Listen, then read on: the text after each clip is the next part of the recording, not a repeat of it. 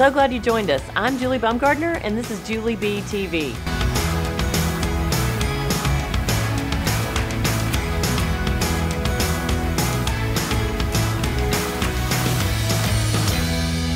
Welcome to this episode of The Relatable Table. I'm Julie B. Today we're going to talk about a topic that is probably pretty difficult for a lot of couples to even come close to discussing. We're going to talk about cheating. What is cheating? What do you do if you think your spouse might be cheating? So I'm going to start us out by just asking each of you. First, I should introduce everybody. How about that? This is Mitchell, Anna, and Chris. And I, I'd like to hear from each of you what would be your definition of cheating in your marriage? So, Chris, you want to start us out? I can, yeah. Um, well, I think obviously most people think about uh, an affair when Mm-hmm. thinking about cheating. But uh, I I think a broader definition is very helpful to couples, and that is it's, it's anything that you're acting in dishonesty with your spouse. And if I were to hide something from my wife that I know she would want to know, you know, I know that would be something that is, is something that has to be between the two of us and Mm-hmm. not just me, then uh, I think I'm cheating her on being open and honest with her. Okay. How about you, Anna? I think cheating would be um, in a relationship if you have a third party come into your relationship, maybe that's emotional or even if it starts as a friendship that bothers the other person, that would be constituted as cheating based, you know, yeah. All right. Mm-hmm. Mitchell? Um, I would echo both of those. So I think it definitely, you know, so often the easy thing to go to is an affair because it's just the most obvious. But I think it goes anything that really breaks down trusts in the relationship. Um, so when you start bringing other people into it, whether that's just, you know, you can lead into emotional issues there. And, and if you just have this breakdown of trust where you're doing things in secrecy, if you're trying to hide things from your significant other, then you're really kind of walking a fine line there. Mm-hmm. Yeah, you know, it made me think when you, well, first of all, I think we should unpack affair. But as you were talking about the whole trust piece, it just made me think about probably people don't think much about if, if you're doing your marriage work with somebody else. Like if you're mm-hmm. talking about your marriage or how complicated it is with your mm-hmm. spouse with somebody else, that could really be defined as cheating. Yeah.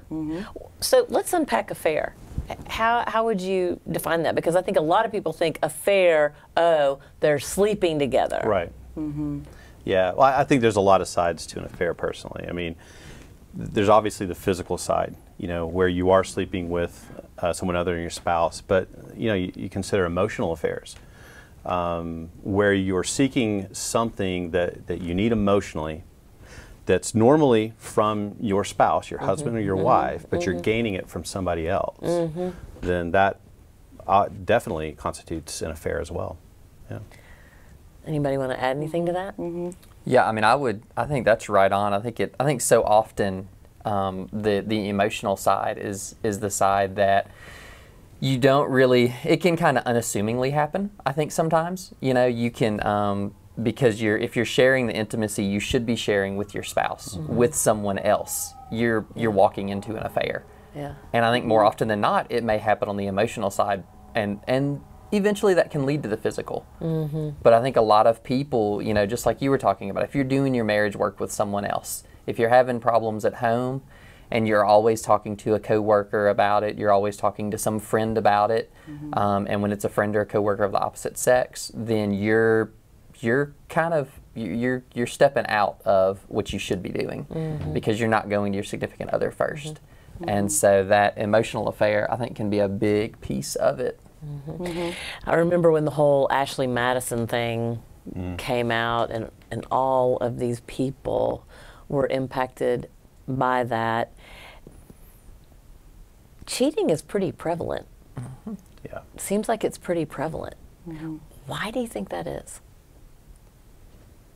What do you think leads people to go outside their marriage and really, I mean, they're trying to get their needs met in mm-hmm. some way, shape, or mm-hmm. form. Some of them, others, the sense of adventure. Mm-hmm. So, what do you think is happening there, though? I think there's also there's fear um, in having your spouse know you many mm, times, mm. and so it's safer to go with someone else. Um, so that may be a factor. I don't know. Um, I think Yeah. you're definitely onto something mm-hmm. there. And mm-hmm. Mitchell said a word earlier, the word intimacy. Mm. And you know, if you define intimacy as something like you're being vulnerable and open and showing parts of yourself to someone who should be reserved as your spouse, but those needs aren't being met within your marriage, you're going to mm-hmm. go seeking intimacy elsewhere. And, mm-hmm. and I think we, somewhere along the line, you know, it, it seems like that we've lost this ability to fulfill those intimate needs between husband and wife. Hmm. And so you're going to go and find that elsewhere. Do you think that unspoken expectations plays a role in all of this? I I mean, I'm just sitting here listening Yeah. and mm-hmm. thinking how often, whether it's intimacy or uh, money or job, mm-hmm. just how often we're thinking in our minds, well, it ought to be this way, or they ought to be doing this for me, and that's not mm-hmm. happening. I definitely think it can play a big part in it, and, and just not being. And it could be like Anna said, you know, if, if there's that fear of I don't want to, I don't know if I want to open myself up that much, or, or what will they think. But I think if you don't have those conversations about the expectations, mm-hmm. then it could be a lot more prone to think, well, you know, my spouse isn't meeting these expectations, mm-hmm. and you know, I spend a lot of time with this other person, and, and I'm gonna, you know, talk to them about some of those things I should be talking to my spouse about. It feels more comfortable, maybe. Or it could feel easier to go talk to them mm-hmm. than putting the effort into kind of breaking down those barriers in your relationship. Where if you both have unspoken expectations and you're just like, I don't want to put in the work there, this could be a mm-hmm. little bit easier to just talk to this other person who's just so open and willing to listen mm-hmm. um, that it could definitely get you into some trouble. Yeah, you might think that, the, yeah, that they're not going to respond like your spouse might respond if you tell them. Mm-hmm. Yeah, mm-hmm. yeah. Chris, you were about to say something. Yeah, no, I, I, I'm thinking there's all kinds of little things that's that's in that. You know, I mean, if, if I go to my wife and um, let's just say money. I mean, money's a hard thing to talk about mm-hmm. sometimes. Yep. And you know, I go to her to talk about how we spend our money or how we shouldn't spend our money or so on. That could potentially be a really awkward, uncomfortable, even conflictual kind of a conversation, mm-hmm. right? So I might be more prone to keep some of those things from her. And at the same time, like what you're saying, Mitchell, I mean, if there's somebody at work or somewhere else who, you know, they're, they're friendlier when I talk to them about these things, mm-hmm. they, they accept those, oh, yeah, you know, you can spend money however you want to. It's your money, you earn it, whatever, you know, then I'm going to side more over there because it's easier. Mm-hmm. And they seem to be more loving toward me. Yeah. Mm-hmm. We've all known people who have cheated. Mm-hmm. Talk for a minute about the fallout from that. What have you witnessed in terms of friends and acquaintances that you've seen that have found themselves in this position where where they've cheated and their spouse has found out? Yeah, I mean that can it can be huge. So I think you know it, it obviously friends, family becomes a mm-hmm. big piece of it because you you know you've got to when when family finds out it's it's how do you navigate that through those relationships with family? Does that break down relationships? Mm-hmm. Mm-hmm. Um, but then obviously friendships. If if a lot of friendships can be broken because you know if they're friends with both spouses, and if if the cheating is an end to the relationship, so I think that's where you know sometimes it can make a difference. You know, there's two ways you can go from it: either the relationship will survive it, or the relationship doesn't, and that's the end. And I think when you know when that especially can be the end, you're going to have a lot of broken friendships because your friends are going to start making choices for who are they going to side with, Yeah. who who are the, where are they going to go, um, and even if it survives the affair, that still can it can harm the friendships because the friends you know have been there through it, and so them it can change their perception of you going forward. Mm-hmm. It can change, you know, how they feel about the two of you, um, and so it can definitely have, I think, large ripple effects mm-hmm. on on how it can go. Mm-hmm. Anna, you have any thoughts on that? Yes, I feel like y even as a friend, you would be hurt just because then you feel like, do I really know this person? He hid that from me as well. So that there's going to be um, broken relationship just as a friendship, as well as the broken relationship with the spouse. So it just there there is definitely a ripple effect throughout just the family, the friends, community, um, and that's very hard. I wonder if people think much about when they're walking down the road. You know, we know lots of research that usually when people are unfaithful in any way, shape, or form, it usually starts out very innocent. Mm-hmm. And then they'll often say, I, I don't know how I landed here. I just landed here. Mm-hmm. But I wonder what is happening for people. They're walking this road and they know they're treading on thin ice, mm-hmm. um, but they keep on walking. Do you think they think about the ripple?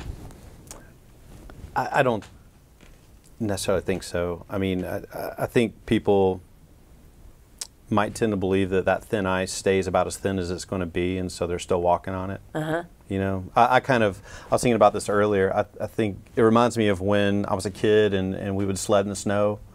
And you, you start off on the top of the hill and you kind of go slow and it's not real dangerous, you know. but all of a sudden you're very much take picking up speed and you're going downhill before you know it. I think that is how that works sometimes. You know, I've had several friends, and Kristen and I both have had several friends that have experienced that, and they've been on both sides where the relationship's been resolved, or or it wasn't. And uh, in, in most of those situations, it just seems that way. They were what was seemingly innocent, not too harmful, as long as it's just a little secret, it's okay, and mm-hmm. nobody's really hurt. Mm-hmm. And all of a sudden, it just it goes downhill. Mm-hmm. The three of you are married. Have you all ever had a conversation with your spouse about what would define cheating for you in your relationship? I don't know that we've ever had a conversation to that specific to say this defines cheating. I think we've had conversations about boundaries and Okay. what does you know what are boundaries when it comes to relationships with um, you know friendships, relationships with people of the opposite sex. Like we've had discussions about those, but I don't know that we've ever had the conversation where it was actually like, hey, what do you define cheating mm-hmm. as? Mm-hmm. Like to, to do it in those words. Mm-hmm. Um, you know, we've talked a lot about boundaries, a lot about openness, a lot about not hiding things, and about secrecy. Yeah. So I think a lot of conversations around it without actually saying like, "Hey, what's cheating to you? What do you think that is?" Yeah. Yeah, same with us. We really never talked about what is cheating for us. Um, I think we focus more on what are my needs, what are his needs, how can I mm-hmm. meet his needs, and vice versa. Mm-hmm. So if we're focusing on that, then we're not focusing on the things that he cannot do, mm. but what can we do for our relationship. Mm-hmm. So. And that's an interesting point because uh, there's a lot of pushback from people sometimes. Well, what do you mean I, I can't do this and I can't do that? Even though the whole point is to protect the marriage relationship. What do you think, Chris? Yeah, well, just to kind of echo uh, uh, you both, we've you said the word boundaries. We've we've talked a lot about boundaries, um, and and not just what uh, what are we going to be open about. Things like money and time and who we're hanging out with and, and the relationships that we have that are particularly like opposite sex relationships, you know, uh, and, and how we share about those things. But what are the non negotiables? You know, like porn. Porn is a non-negotiable. Uh, You know that that's has no place in the relationship. um, going out one on one on a social, uh, purely a social context with the opposite sex of anybody is a non negotiable. That, that has no place. And it's because it's not to limit, but it's to protect, you know, this sacred relationship, this thing that we have. Yeah. I think so many people struggle with that. I, I can remember, this has probably been more than a decade ago, but I was traveling for business and I ran into someone that had actually done some consulting work for us a number of years ago. And um, he was like, "Hey, do you want to just meet for dinner and we could just catch up?" And I called Jay and I said, Are, "Would you be okay with this?" And he goes, "This just feels it just it just I don't know, it feels awkward to me. Like you haven't seen him in a long mm-hmm. time and Yeah. I don't know. I think I just am uncomfortable with that." And I said, "Okay." But I think there's a lot of people that would be like, well, now, wait a minute, you're a business person and mm-hmm. you had every mm-hmm. right to sit down and do that dinner with the person. I think you got to ask the ultimate question, though: is what do you value more? Do you value um, being able to be free to do this or that or whatever, to sit down with this person you haven't seen in forever, or do you value more the feelings of the person that you love the most? Mm-hmm. And how they feel about that, and the safety and the comfort that they feel. And that's a big question. That's a good Don't point. you think people struggle with that though? Definitely. Oh, yeah. Totally. because you don't want you don't want the other person to think, oh, he's she, he, he's going to think something bad about me if you know if I do go or not, and so you. That's when that question pops up. Okay, do I value my husband's feelings um, more than I do what the other person thinks of me? And I think when it comes Mm-hmm. down to it, if, if we're, I mean, if we're all honest, it's it's it's hard to always put someone before you all the time. Mm-hmm. And I think sometimes when you get into some of those things that, you know, if you look into some of those things, whether it's emotional or physical, any type Mm-hmm. of affair, any type of cheating, you're putting yourself in front of your spouse Mm-hmm. because you're like, well, they're not meeting my needs, so instead of talking to them about not meeting my needs, I'm just going to Mm-hmm. go over here because this person is meeting my needs as innocently as it may begin or as intentional as you may be about it. Um, because I think you know it's it's I think it's it takes work and it takes focus to be like I'm always going to put my wife's needs in front of mine and to think about just like that situation with Jay to think about you know how is this going to make them feel? Mm-hmm. Or how would I feel mm-hmm. if he exactly. was how would I feel on the, calling me and on the me other that? end you know where Yeah. where I want to make sure that I'm thinking about them 1st uh-huh. and it's not easy but I think it's something that you've got to just take focus and say I'm, I've committed to this. We're going to be you know we're going to have a healthy relationship. We're going to have a healthy mm-hmm. marriage I'm going to put them first and I'm going to mm-hmm. focus on them and what would they think You know, something I've taken for granted in the past too is when that kind of question has arisen very few times, and when my wife has said, I'm not sure if I'm comfortable with this, mm-hmm. it, it's not necessarily her discomfort with it, but she can also see things from her angle that I Yeah. can't. Mm-hmm. Oh, yeah. And her, her, you know, the red flags are going off in her mind, going, "This could be a possible danger zone," or I can see something in her eyes that that my husband doesn't see necessarily. wives are really good about that They're very good about that. Yeah. So uh, to, to not just respect their feelings, but to trust their feelings is, is huge. But don't you think that that's also the thing that can really set things in motion for couples where, where it creates a lot of discord because it's like, oh, you don't trust me. If you trusted me, you wouldn't care that I actually went and did that. Oh, Yeah. right. Yeah. yep Mm-hmm. definitely I I think it just comes back to that question. I mean, you know, what do you value more? Yeah.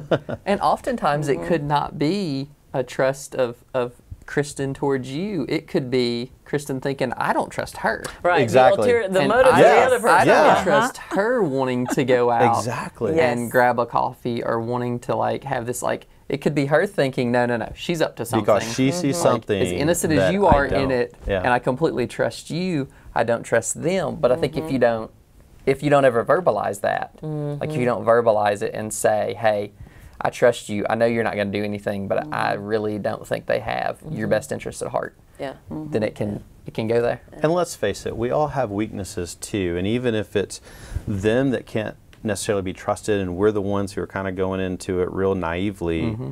and that door is cracked open just a little bit, I mm. still will have that temptation. Mm-hmm. Yeah. Right? Mm-hmm. So that is not just protecting a relationship, but Kristen's protecting me when she expresses those kinds of feelings. Yep. Yeah. For the couples, y- y- you know, you just talked about, uh, well, I feel like I'm not getting my needs met. So, because you're not willing to meet my needs, I'm justified in doing what I'm doing. And you're laughing. Justifies a strong word.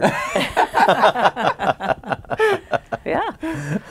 Yeah. I think we like to justify ourselves a lot. Yes. You know, um, Mitchell said something a little earlier that I think is just so important. You got to talk about it.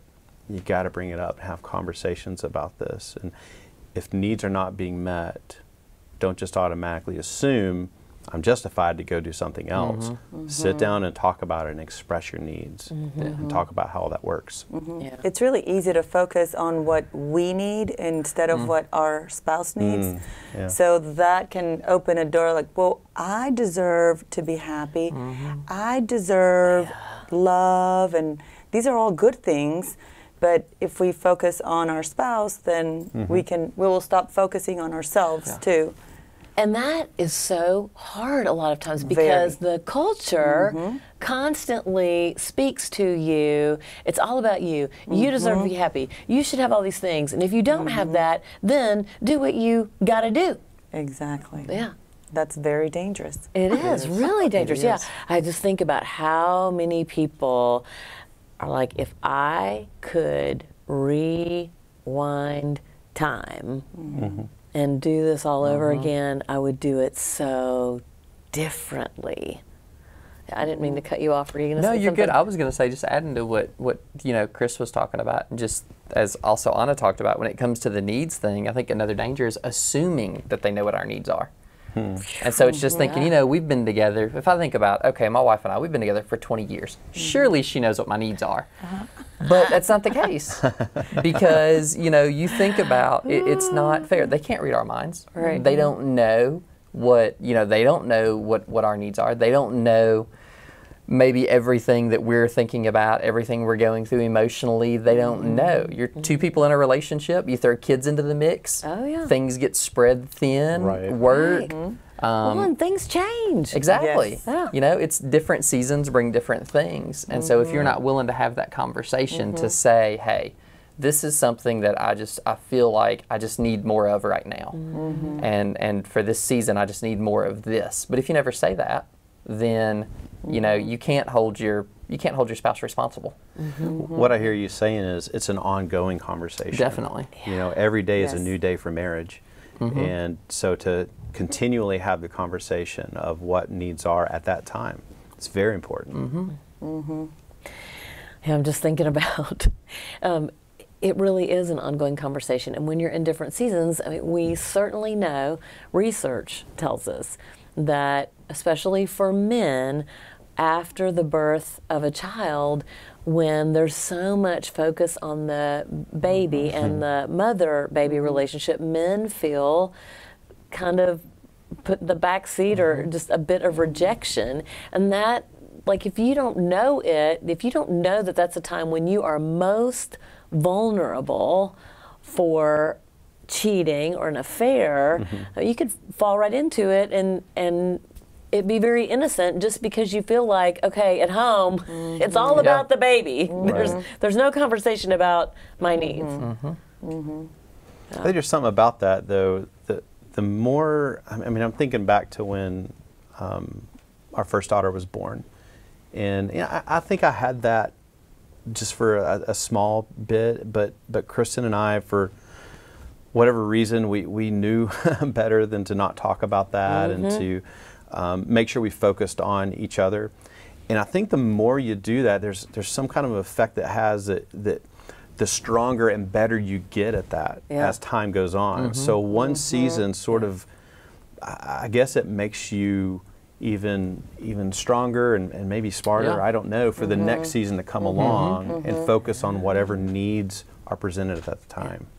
Mm-hmm. That makes me think about the temptation when things are hard is to back off. When in reality, if in a healthy way, you can actually take a step forward and mm-hmm. try seek to walk Yep. through it mm-hmm. versus away from it, you can come out on the other side Yeah. a lot stronger and better off, much healthier. Yeah.